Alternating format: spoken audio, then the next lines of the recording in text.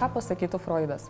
Kodėl jis tik taip mažai reikia? Aš žymiai daugiau būčiau reikęs vietoj. Ką dabar daryti? Kas ką uh, mobina? Aš varau Chill and Grill ir man nusispjauti, aš savaitgalį ma- mailų neskaitau.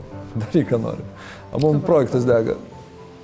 Jo. Nepatinka? Ir vakarėlį prisigeria, sako, čia mūsų tarnai aplink vaikšto. Vienoje didelį, didelį gamykloj, kai aukščiausio lygio vadovas žmonėm, kurie uždirba ne po vieną dešimt tūkstančių mėtį telefonus į galvą. Būna visai. Super! Ir tada mums čia nereikia Freudo. Čia tada jau viskas aišku.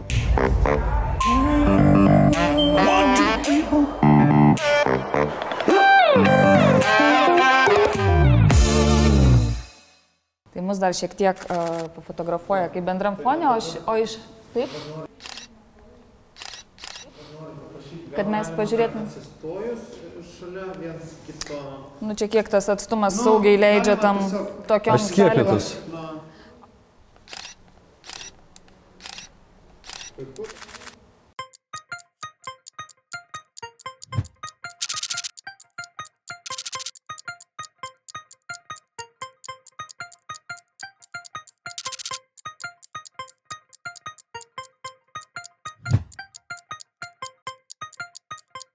Taip, o aš pabandysiu atsisekti, nes sako, kad vietomis atrodau kaip, kaip be kelnių, bet, bet tai ne, ne didžiausia bėda mano gyvenime. Prie jos priartėsim. Taip. Gerai, tai jeigu įsivaizduotumėm, kad Freudas atsidūrė Lietuvoje, šiandien izolacija, virusas, mobbingas, visa, visa kas, kaip galvojat, ką pasakytų Freudas? Freudas visada turėtų ką pasakyti. Kur jis ieškotų atsakymą? Čia geras klausimas. Tai e, aš manau, kad jis e, vienai par kitaip ten aukštuomenės vakarėliuose greičiausiai atsidurtų. Tyrinėtų ką? Tyrinėtų vidinius žmonių konfliktus ir kodėl jie elgėsi vienaip, o ne kitaip. O, tai čia praktiškai pirmiausia eitų turbūt kokį svingerių vakarėlį, nes viskas yra ten turbūt paaiškinama. Mm. Aš kalbu iš stere- iš stereotipų, kad Aha. Freudas viską į antrą tą galą. Čia jau labai stereotipiškai. Tai, ta prasme, kad Freudas daugiausiai kalbėjo apie tai, kad žmogaus elge, elgesys daugumiliu atveju yra nulemtas konfliktų tarp realybės ir pasamoninių, tai yra neįsisamonintų motyvų. Ir tuo metu, kai jis dirbo, isterija buvo ant bangos, nes visas seksualumas buvo nelegalus. Mm. Tai už tai čia tas antras galas išlenda mm. netikėtai, nors ir dabar diskutuojant tam tikrom temom arba dirbant tam tikrom temom, pa- panašu, kad nuo to XIX amžiaus niekas labai nėra pasikeitę. Žinot, e, dar e, šiek tiek teko skaityti Freudo ir ten jis, e, mano galva, labai logiškai aiškina tokį dalyką, kad e, tiesiog pamirštų dalykų nebūna. Ir e, kalbant apie e, darbą ir darbo kontekste mobbingą, juk aš manau, kad bus žiūrovų, kurie atpažins save. Mm. Jiems gali nuoširdžiai atrodyti, kad jie serga ir serga, bileteniai ir bileteniai. Mm, kai tik artėja koks nors didesnis atsiskaitimas arba kažkoks ekstremalesnis darbe atvejis, taip lyg ir atrodo, kad kaip čia taip uh, manęs darbė nėra. Uh, gal galim pradėti nuo, uh, kas tada suveikia pa žmogų, ar čia tikrai yra ta lyga nutikusi, ar, ta lyga, ar tiesiog žmogus nenori kažko daryti. Ir aišku, kūnas klauso signalą ir sako, gerai, mes kuom nors čia toj susirgsim. Tai jeigu iš Freudo labiau pusės kalbėti iš psichoanalizės, yra tokia samprata kaip vidiniai darbiniai modeliai.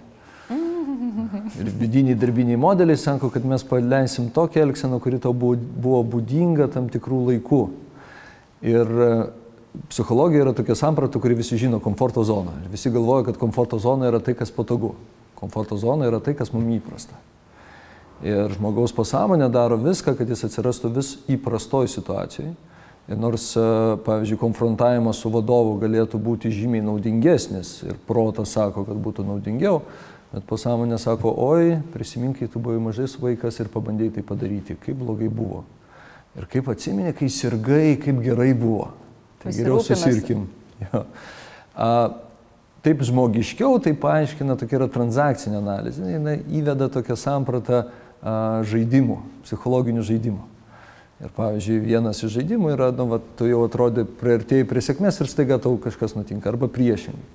Priartėjai prie nesėkmės ir ir kažkas tave nutinka, tave, gali suparaližuoti iki tiek. Tai, bet aišku, ištakos yra Freudo. Jisai sakė, kad vat, būtent simptomas yra tokio vidinio, atrodo, jis nelogiškas, bet jis turi labai aiškę logiką, tik reikia truputėlį pasiknisti. Savęs sabotažas arba pats, Taip. pats, e, pats save sukompromituoju. Taip. Aš galvoju, kad aš noriu būti verslininku, o iš tikrųjų aš bijau būti verslininku, nes, pavyzdžiui, įsivaizduokim, ar ne, kad o, ten reikia tuos persekios, visi prašys, e, aš tada turėsiu, o aš noriu, kad mane paliktų ramybėje. Tai čia ta pasąmonė nori būti paliktas ramybėje, kad grėsmės man nebūtų, o sąmoniai tu turi būti sėkmingas, eiti, kilti karjeros laiptais, kaip su tas nu, sabotažais tai įvyksta. Daugiau, daugiau mažiau apie kokią narcizinę asmenybę šnekat. Tai uh, Narcizo vidinis konfliktas yra apie mažą berniuką arba mergaitę, mažą vaiką, kuris labai labai visko bijo. Ir jisai nuo pat mažų dienų žino, kad reikia galvoti ne apie save, apie kitą. Ir jis galvoja... Tai jūs apie mane šnekat, aš tikiuosi gal jau aš šiek tiek nusitriniau ten. Bet jūs viską sakot ir va taip, a. Va, nu, va. Tai, tai, tai jeigu ne apie jūs, bet apskritai. Bet apskritai, jau. A, tai ir, ir tada konfliktas yra, kad a, narcizinė asmenybė nežino savo vidinių poreikių, jinai, galvoja, kad tai yra nelegalu ir tada stato fasadą. Tada yra tai vadinami kietieji ir minkštieji. Tai kietieji stato kietą fasadą, kuris sako, tu prie manęs nepriartėk ir jis tada dedasi atributus, kad būtų spindintis, tokiu būdu maskuodamas vidinę bejėgystę. Arba yra minkštieji, kurie prie tų kietųjų stengiasi prisišlieti, na, nu, kaip e, šitą mauglį buvo. Mhm. jo, jo. Tam, kad nu, pasimti jėgos iš ten ir, ir atrodo, kad jeigu įsiteiksite, tai tada bus viskas gerai. O aš prie kietųjų buvau, tai prasiskėliau ir galvą, ir, ir, ir, ir daug gyvenimo metų ten kažkur, ne ten, ir, ir dabar kaip gaila, bet gerai, kad protas pamažu ateina ir dėl to darau tą laidą, galvoju, turbūt daugiau yra žmonių, kuriems įdomu, jo.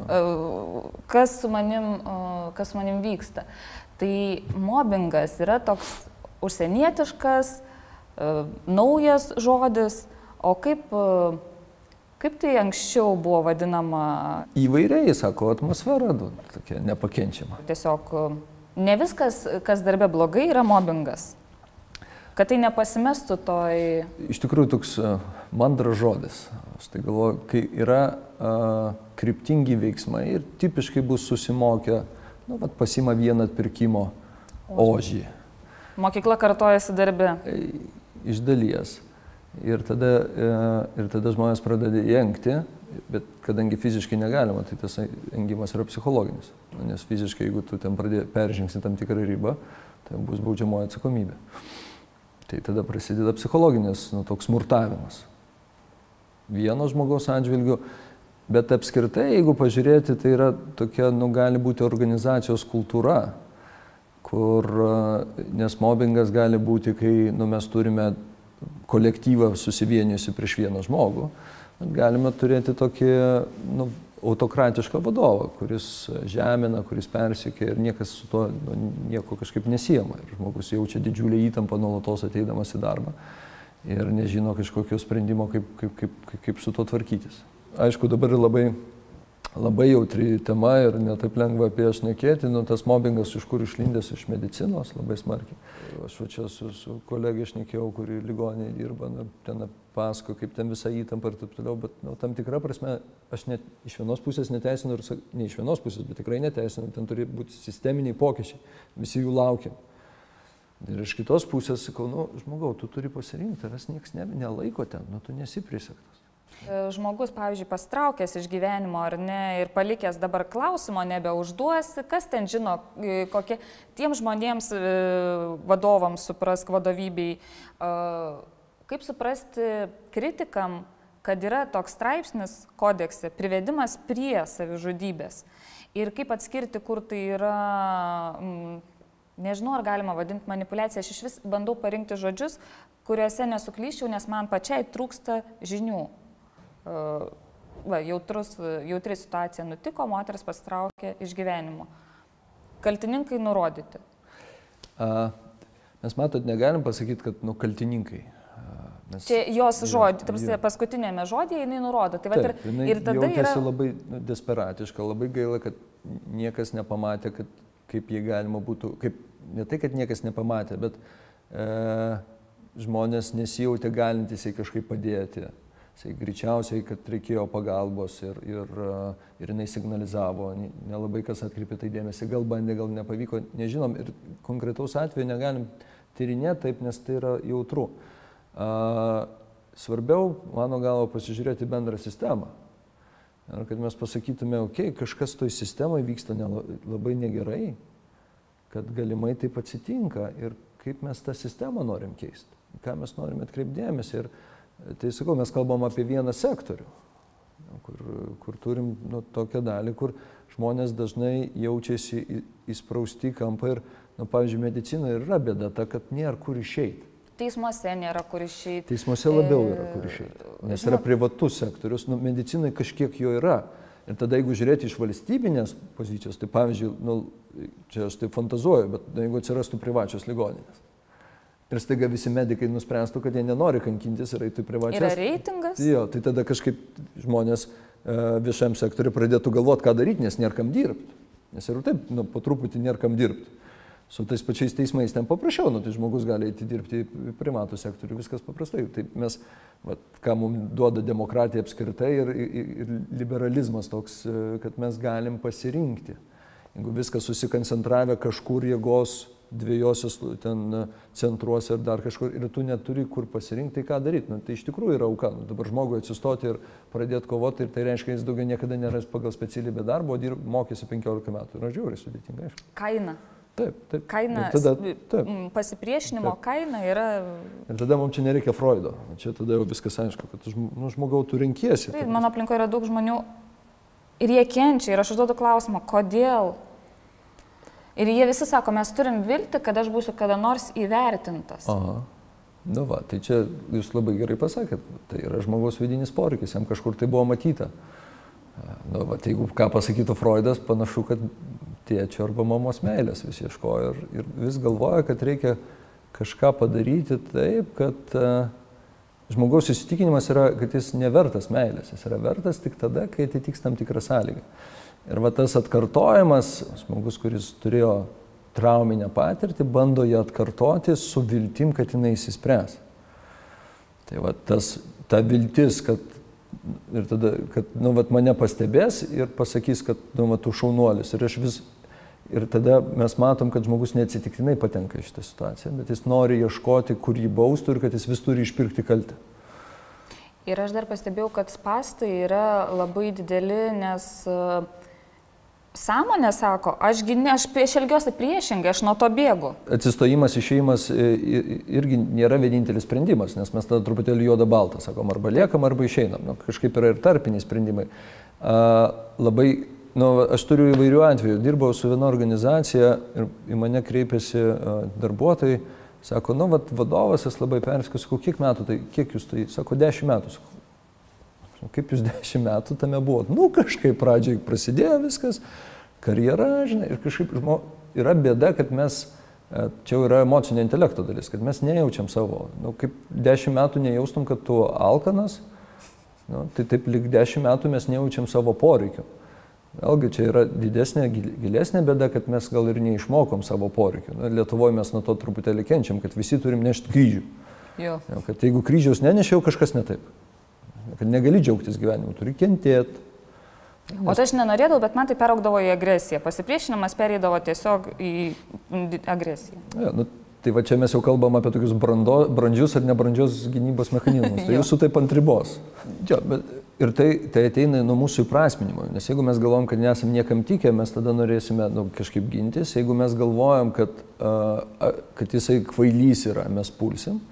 Ir čia jau kognityvinė psichologija daug atneša, nes čia etiketės yra, kurias mes galvojame už, užkabinam, bet jeigu mes pagalvojame apie tai, kad vadovas tokiu būdu, kokius sugeba davė mums grįžtamą į ryšį, arba sakė, tu nemoki dirbti, Gal, ką jūs norėtumėt, kad daryčiau kitaip? Žinokit, nu, va, tau reikia daryti ten dvigubai daugiau negu iki šiol. Ok, gal man tai tinka, gal ne. E, sakytų, žinai, nu tu nepadarai ten kažkokių skambučių, man tas labai nepatiko. Super. Nu, tai, o ką, kaip man tai daryti kitaip? Mes galime apie tai pašnekėti. Jeigu sako, nu viskas čia yra negerai, o kas viskas, nu nekvaršink man galvos, aš čia nenoriu su tavim turėti reikalų. Tai jeigu tau darbdavys sako, kad nenori su tavim turėti reikalų, tai jau čia mano tėtis man kažkada išmokė. Jeigu tu darbdaviui nereikalingas, tai kuo greičiau išsiskirsi, tuo geriau. Jeigu reikalingas, jis kažkaip ras būdą su tavim būti. O ką tada daryti, jeigu, vadinkim taip, tarpinis vadovas demonstruoja tokį elgesį, kad tu man nereikalingas. Mm. Ir lieka toks klausimas, ar aš tikrai visiems nereikalingas? Ir kaip tada Nu kaip mes čia dabar apeisim valdžią, e, valdžią paklausti tos kitos valdžios klausimų, kurie mums rūpi, kad priimtumėm sprendimo, nes mums trūksta informacijos. Nu kažkaip uh, tada tokie, kaip sakyčiau, būtiniai žodžiai eina, nu nebūsiu aš čia kažkoks tukačius, kaip čia atrodys, man tada reikės viską papasakot, uh, kaip čia, o, jeigu reikės, bus kokia akistata, aš to neištversiu, o kaip aš esu suinteresuotas, ką pasisvert. Uh, kaip ant tų svarstyklių, nes čia prasideda, kad ne vienas vadovas, daug vadovų, hierarchijų. Tai viena, ką jūs sakot, man tai daug skamba apie įsitikinimus.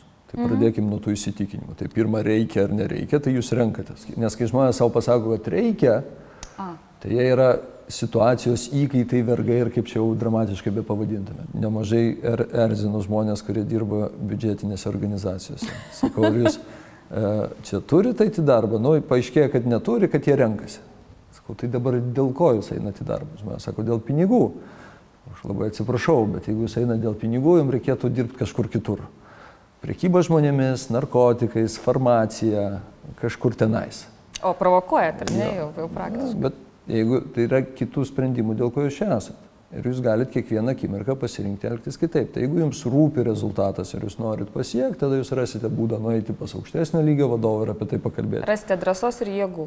Jo, nes jūs suprantat, kad tai net, net nu, man rūpi. Jeigu jums nerūpi ir jūs esate čia dėl to, kad tiesiog esat, nu tada vat ir atsiranda didžioji bėda kur tos drąsos? Aš tai skausmo labai bijau, bet po to aš suprantu, kad aš daug, man pastoviai tada skauda ilgai, kol aš neišsprendžiu. Drąsa atsiras tada, kai tu turi, matai prasme tame. Bėda yra ta, kad mes dažnu atveju va čia va sustojom ir savo pasakom, kad aš nenoriu tą pusę pažiūrėti. Ir tada ir taip gyvenimas prabėga. Mes po 40 metų atsibunda ir sako, o, nu kaip ir laikas mirti. O kas tam gyvenime buvo? Nu, Aš kaž... kentėjau. Net nekentėjau, nu kažkaip darbas, namai, ten pirmadienis, sekmadienis. Taip, taip, nu kažkokios, nu, vat ką žmonės iš metų atsimena, nu gal kalėdas, gal ir ne. Gal vaiko gimtadienį, gal savo, nu, va, iš 300 ten kažkiek gal ten tų dienų, žinai, ten 2-3 atsimeni, taip ir dešimtmetis prabėgo. O dėl ko? Nu, nes turėjau, ką turėjai. Nu, turėjau, va, nu, kažkaip taip, va, nu, gyvenimus tokia pat ir nesusiklostė. Tada reikia kartais ateiti pas psichologą į kabinetą ir pasinagrinėti atidžiau, Taigi, kas ten trukdo tavo viduje, kokie įsitikinimai ir kokie akiniai tau yra uždėti nuo, nuo tavo vaikystės, per, per kurios tu vis matai tą pasaulį. Ir jeigu tos sakinius truputėlį galėtume pakoreguoti, kad jie taip neiškreipytų realybės. Kad bosas netėtis, uh, kolegė, ne mama. Jo, jo, jo. Ir kad, kad tu nesi niekam tikęs ir kad tu nesi, ir kad uh, jeigu pasakysi kitą nuomonę, tai nu, tave čia kažkaip suvalgys, arba kad vienintelis būdas yra kovoti už save agresyviai, arba tylėti ir būti užsispaudus ir, ir taip toliau ir panašiai. Tai, tai aišku, kad tie dalykai kartais, nu, jie tokie labiau paviršių ir lengviau sprendžiasi, kartais jie kažkur giliau ten į seifą sudėlioti ir tuos dalykus reikia, reikia labiau užsitraukti ir kai tie klausimai kažkaip įsisprendžia vidiniai, tos vidinės dilemos, arba kaip Freudas sakytų, vidiniai konfliktai.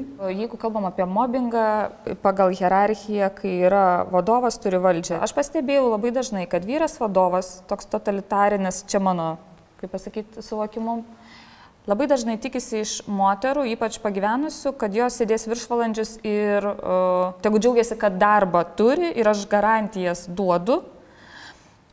Ir jos tokios pakampėmis kenčiančios, tą kavą verdančios, uh, vaikas, uh, nesvarbu, užaugęs, neužaugęs vyras, tas kažkoks kotleto laukiantis, bet jos gyvenime nepipteli ir čia toks, man tik iš šalies taip gal atrodo, toks jausmas, kad uh, tas tokio tipo vadovas e, arba kažkokiu būdu demonstruoja savo santykiai į moteris ir į mamą ir ten vėlgi kažkas vyksta, o ta moteris demonstruoja irgi kažkokį iš vaikystės moters vietą, kad aš tokia atsiduodanti, kryžių nešanti, e, bejėgė, auka, įkaitė ir tra ta ta ta ta.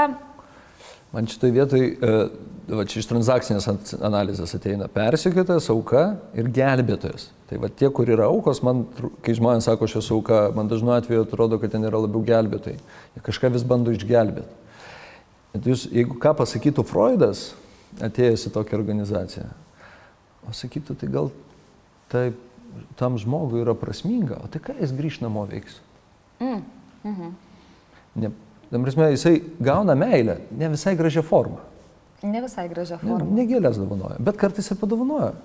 Pagiria, pasako, o. Šiaip, o ką? Grįžtam, nu, jis sako, nu, tuščia. Kuponą kokį kartą per metus ten, žodžiu. Mm, sako, nu, žiūrėk, nesitikėjau, kad tu ir tai sugebi. Bet iš tikrųjų yra... Panašiai ir nu, sako. Jo, kažkaip truputėlį agresyvi, bet tai yra meilė, žmogus turi prasme. Jis ateina, jis turi apie ką galvot, grįžęs namo turi apie ką kalbėti. Nu, įsivaizduokite, o ką jinai veiktų. O čia yra tragedija. O ko tu si tada dėl vyro?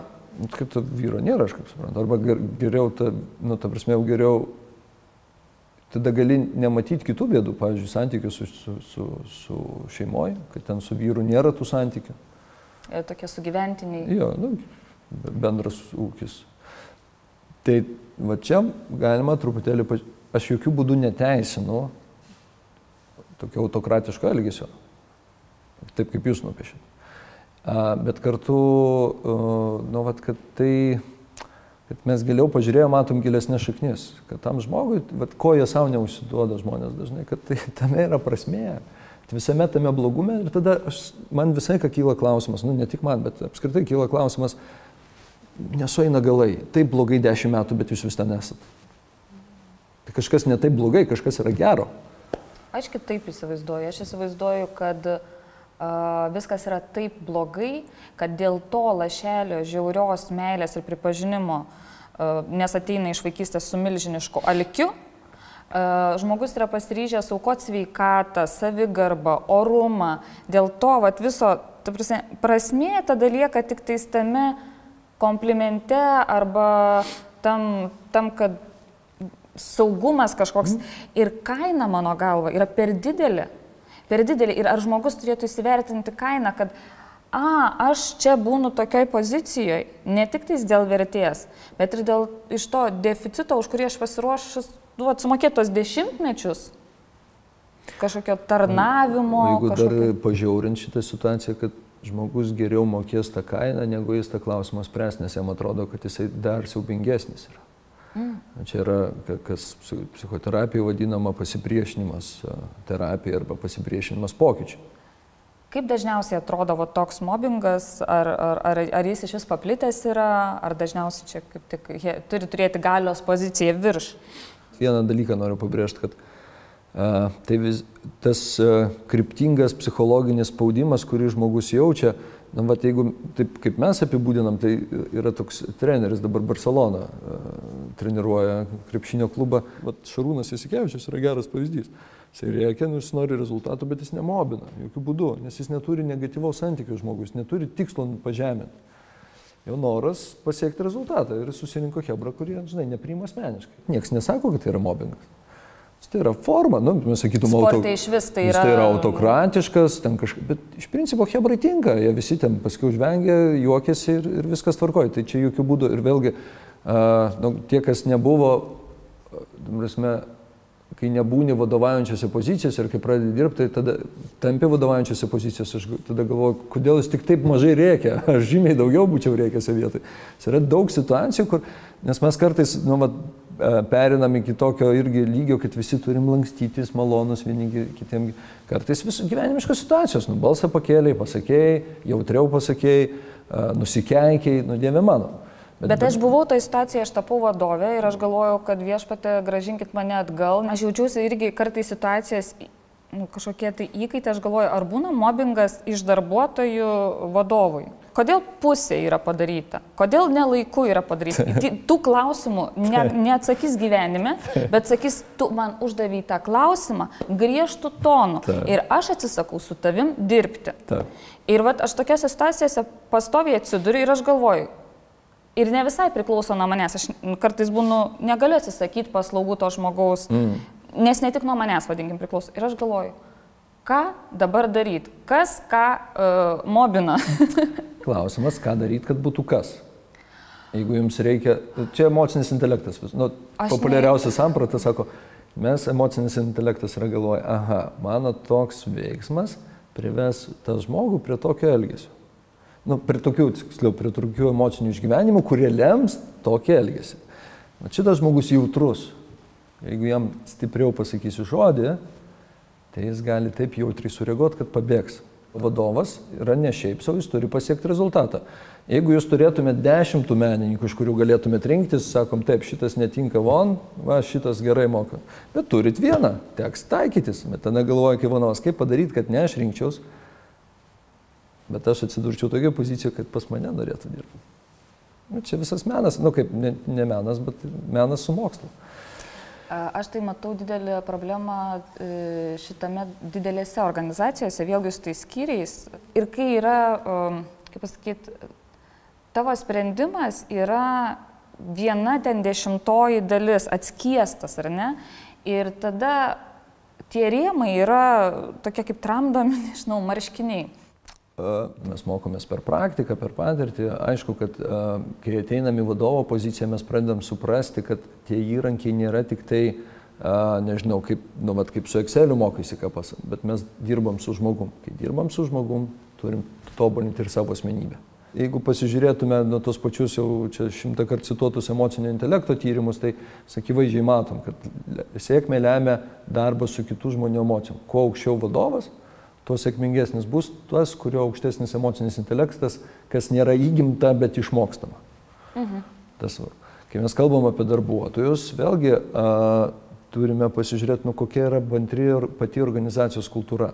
Ir tada iš tikrųjų užsiduot klausimą, du, ar aš noriu tame būti ir jeigu ir ar aš noriu kovoti, nes yra tikrai organizacijų, kur neša kultūrą nuo seno, kur žmogus nelabai kam rūpėjęs, labiau buvo, nu, tokia, nu, kaip instrumentas, žinai, Ten funkcija. per vakarėlį prisigeria, sako, čia mūsų tarnai aplink Jo, jo, vaikšto. nu, ir vat, kai yra toks požiūris, tai yra klausimas, ar aš noriu tame būti. žinai. Vergai. Jo, nu, ar, ar, ar, čia, ar čia man tame tinka ir jeigu, žinai, galima apie tai pajokauti ir būti, o galima nu, kažkaip tai paimti ir išeiti. Tai tu jautiesi neturys galimybės pasirinkti. Nes bendra va tokia tie atmosfera. šunys su elektros, Jo. Viskas jau tenais. e, Išmoktas pasivumas. e, Bet mobbingė e, čia ir medicinoje, ir nemedicinoje. Mm. Ir dar net mokykloje aš pastebėjau, buvo tokių įdomių biografijų. Tarkim, buvo kartais baltų varno, kurios net jeigu keisdavo aplinką, kardinaliai viską keisdavo, mes net nežinom to mokinio jokios istorijos prieš tai, bet nori, nenori, pradedam iš jo tyčiotis. Ar būna darbė, kad žmogus, jeigu vat, žiūri toks, keičia, keičia tos darbus, o kažkodėl jisai visuose kolektyvuose, tarkim, yra balta varna ir, ir kažkaip ir patys kolegos jo negerbė. Ko jam trūksta, kokias, kokias savybės savyje jam reiktų kažkaip mm, ugdyti, į ką kreipti dėmesį. Nu, mes prieinam prie tokios sa- savirefleksijos ir tikrai dalis žmonių neturi tinkamų socialinių įgūdžių ir dėja jie nesupranta, kad jie neturi. Dar dėja yra tai, kad jų elgesys yra toks, kad tu nori iš jų tyčiotis, o ne jiems padėti. Ir dažnai tas, pasi... nu, vat mes žinot, kur matom labai daug, kur dabar eina apie nu, va, antivakserių ir taip toliau, ir ten žmonės, dalis jų turi psichinius sutrikimus. Jie klėdi. Dalis taip, jie turi tokį įsitikinimą, bet dalis ir mums tada norisi juoktis. Arba pykti ant jų, elgtis agresyviai, bet padėti į šalį supratimą. Dabar kaip tam žmogui, kuris nu, vat, yra tam tikram klėdėsi, supras, kad jis yra klėdėsi, yra neįmanoma. Tai čia nėra taip jau stipriai nukeliavę, bet daž, yra dalis žmonių, kurie tikrai elgesi pro, nu, provokuodami ir dėja yra mažai reflektyvūs tam. Ir jiems iš tikrųjų tokia, nu vėlgi pagalba labiau. Reflektyvus, aš patikslinsiu, yra save matantis, Jo, jo, save, save matantis, save suprast, suprantantis. Kad, nu, bet kad kažkaip jie prisideda. Nu, aš atsimenu vienus komandinius mokymus.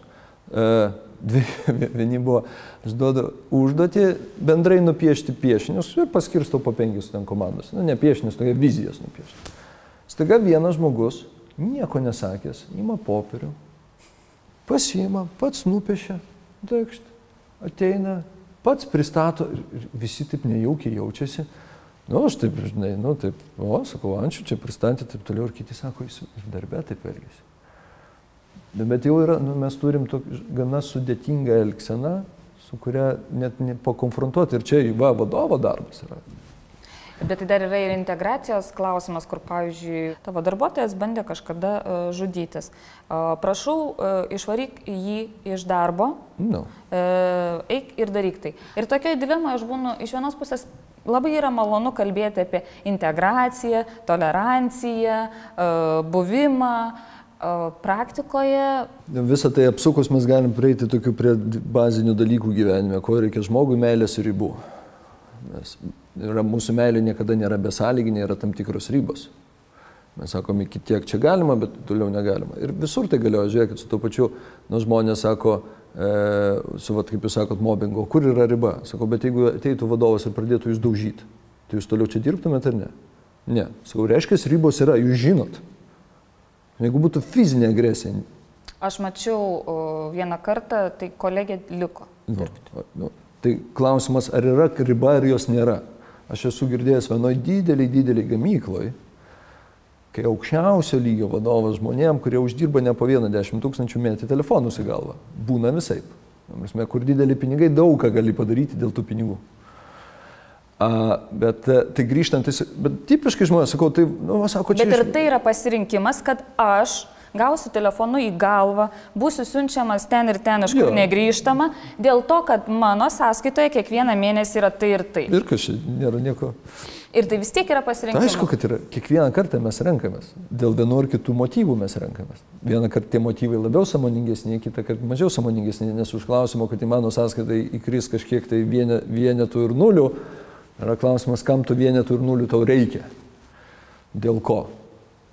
Man reikia pinigų, kad būtų kas. Nes noriu įrodyti mamai, kad aš galiu, arba tėvui dažnai Nu, noriu todėl, įrodyti, nu, kad... Čia jau te- terapinis klausimas. Ir Bet aš sakom, kad žiūrėkit, nori... žiniasklaidai dirbu, atrodytų kas, kas, bet e, finale vokeliuose atlyginimus ilgai gaudavo e, ketvirtoji valdžia, šviečiantys žmonės. Nu. Mes pirmieji turėtumėm žinoti teisės Taip, ir jas vykdyti. turėtumėt, bet tai- Turėtumėm. Nu, ir finale e, klausykystas tas tavo žurnalistas e, ar e, pudra pasidažęs atėjo ir blakstienas. Ir... Bet mes turėtumėm žiūrėti darbą.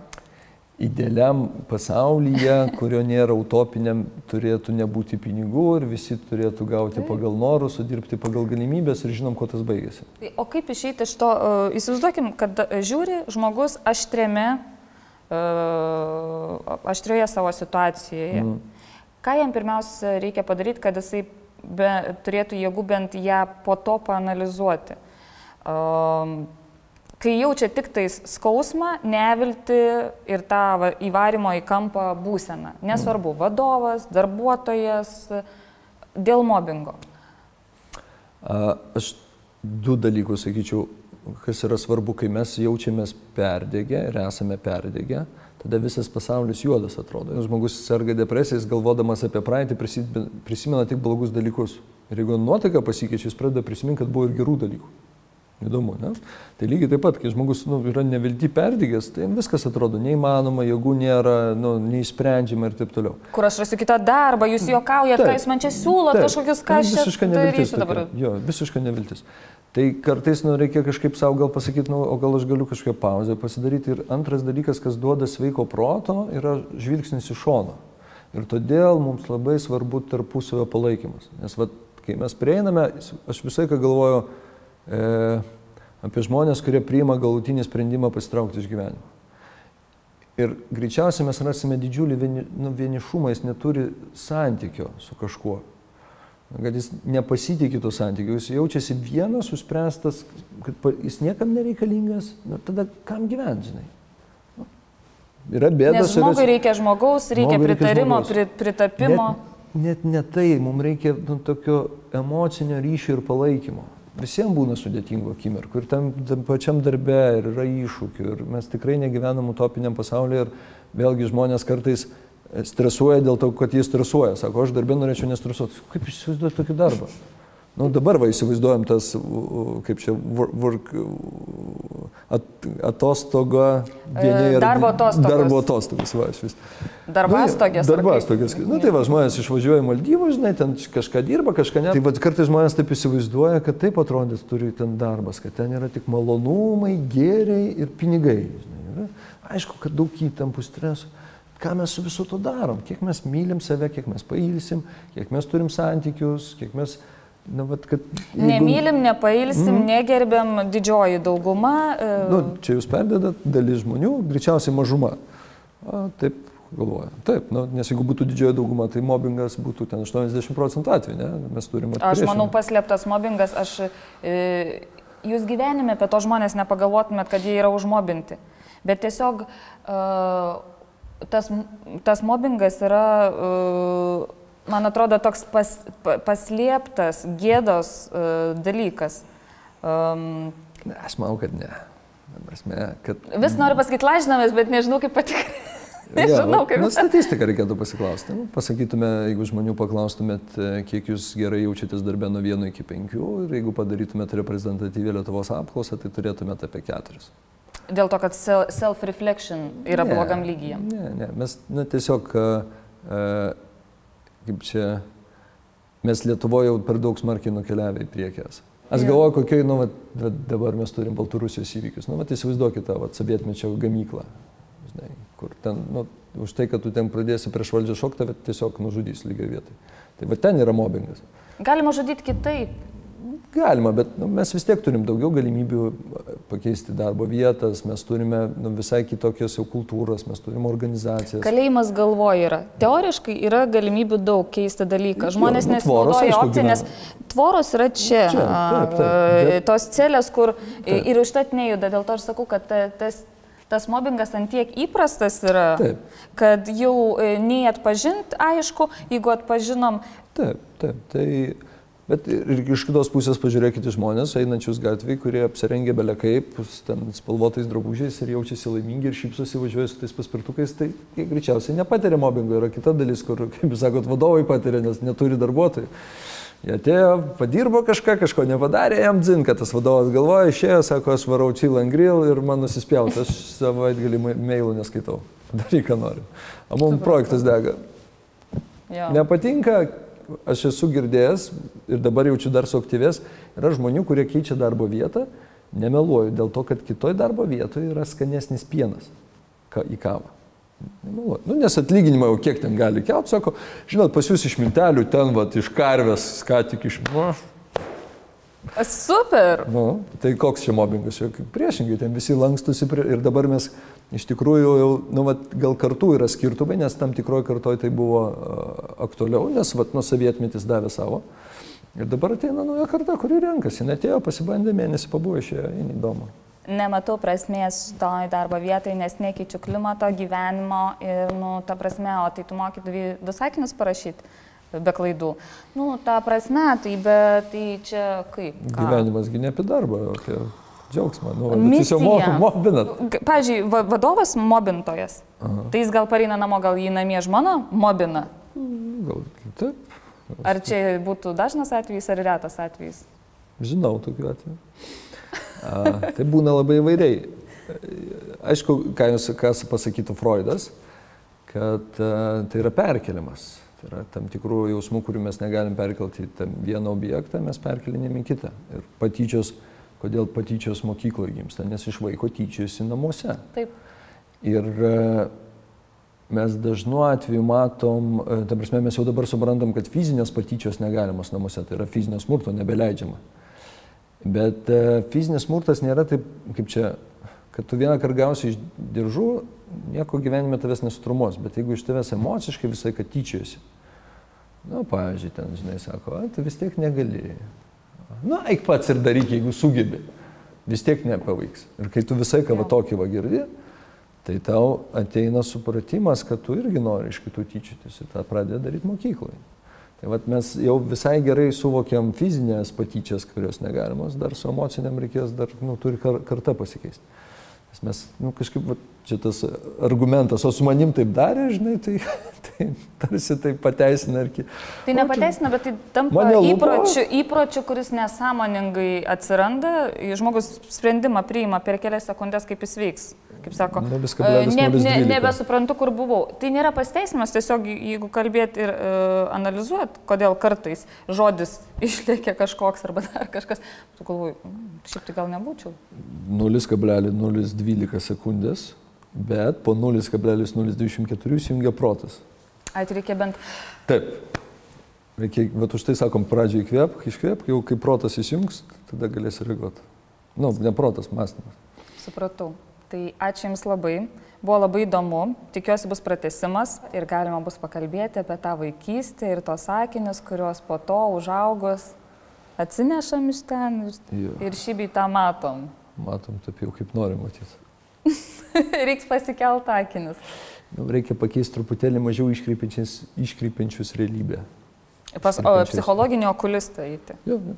Toks Nu, mūsų darbas. Gerai, dar kartą ačiū. Ačiū Jums. Jo, galima atsipalaiduoti. Bet šiaip iš tikrųjų aš ir pokalbio metu buvau atsipalaidavusi. Tiesiog kažkaip jūs gal tikrai turit kažkaip geresnę statistiką negu mano praktinė statistika. Ne, žinokit, nėra. Nu, ten visi Skandina Skandinavijos kultūra labai daug atnešė. E, Bankai visi, nu ten taip toliau. Tai ten koks tam modelis.